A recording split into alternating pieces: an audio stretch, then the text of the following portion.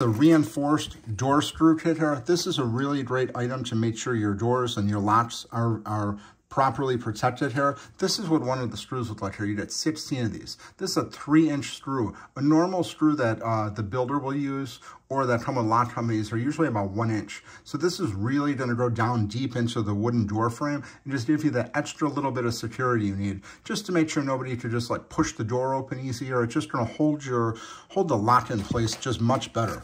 You can see on the back here, it's for the, uh, the strike plate, the deadbolt. It just does a really good job. You could even use this for the door hinges if you need extra security. I don't use them on the door hinges. I just use them on the two strike plates here for the deadbolt and the, and the hand lock.